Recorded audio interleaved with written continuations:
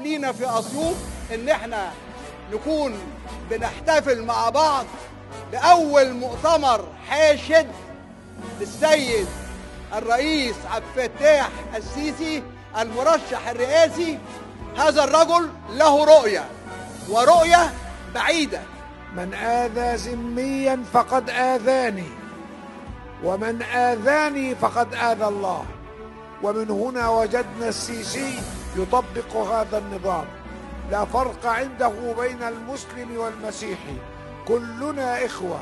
لا أعتقد إنه هيجي رئيس تاني في مصر يعطي حق المواطنة سواسية للجميع. إحنا بنعيش كأقباط.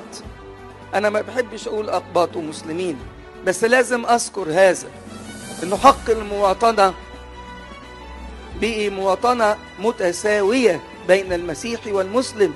بين المسلمين والمسيحيين والأمر ما كانش كده خالص.